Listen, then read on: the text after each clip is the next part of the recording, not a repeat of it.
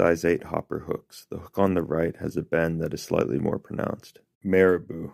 We're going to clip and wrap the marabou. Clip and trim. Split your thread and place the material. Slowly spin it up. Wet your fingers and preen the feathers. Wrap toward the eye of the hook. Olive marabou. Lateral scale.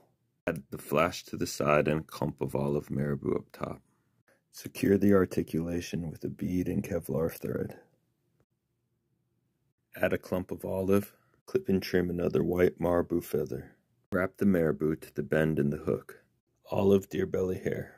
Stack your tips and tie in a collar. White deer hair. Stack your tips and tie in a collar under the stack the olive and white deer hair to make the head. Finish off the head. Time to trim. Round cut for the head, straight cut for the belly. Eyes.